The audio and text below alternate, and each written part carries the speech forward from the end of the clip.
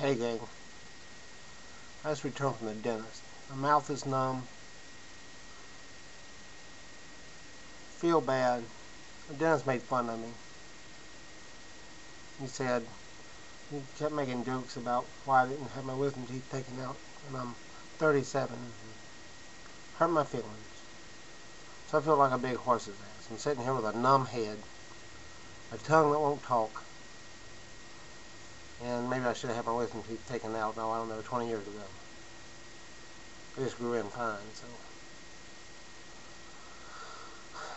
So I just thought I'd leave a message about it and let you know that you know, things aren't all great in Swellsville, okay? I drink me a hooch to try to make me feel better. Now I drink another. And another. And I'm about to drink another on top of that. I don't know why I'm sitting here talking, move, move my head back like this. But thought I'd share with you what's going on. I don't know how I go all the time either. Mm, I'm fat. Mm, I look like a dog. Mm, I like cat butt. Mm. The end. That's all I got to say for the day. Hmm, piece that feeling just fall out of my tooth.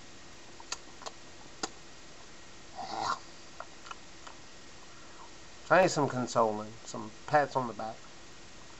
Anybody else has their wisdom teeth and they're over 30, let me know. So I don't feel like such a horse's ass. Please out, homies.